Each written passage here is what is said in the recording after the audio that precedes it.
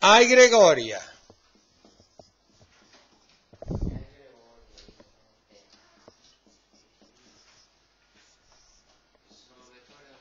No.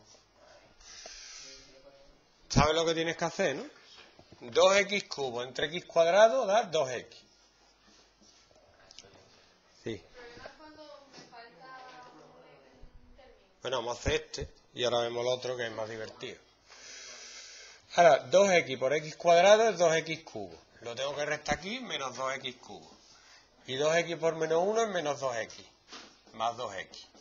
O sea que me queda menos 3x cuadrado más 6x menos 3. Ahora, menos 3x cuadrado entre x cuadrado da menos 3. Menos 3 por x cuadrado menos 3x cuadrado, le cambio el signo 3x cuadrado, menos 3 por menos 1 más 3, le resto 3. Y me queda 6x menos 6. ¿Es lo que tienes tú ahí o no? No, tú tienes un 5. Estás equivocado ahí nada más, ¿vale? Por eso no te sale. Pero solo en eso.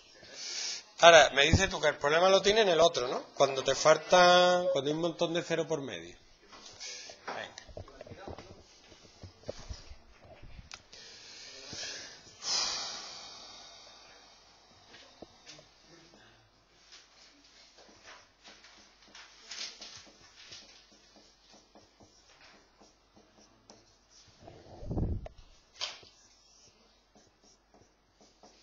Esto está chupado. x cuarto entre x cuadrado, x cuadrado.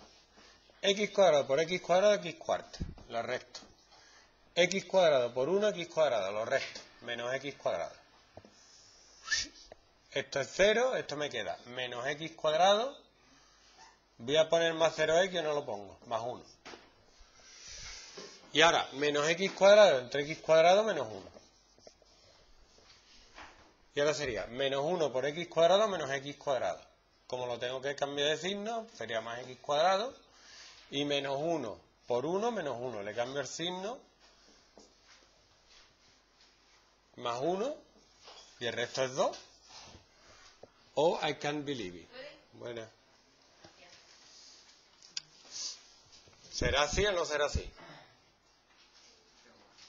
Vamos a probar, ¿no?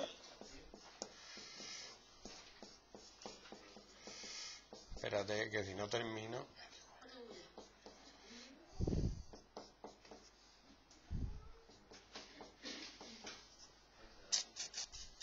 Más el resto, que es 2, sí da. ¿Vale? Porque esto es 0 y esto queda aquí cuarta más 1. ¿Lo veo o no? ¿Seguro? Lo dejo para que lo copie.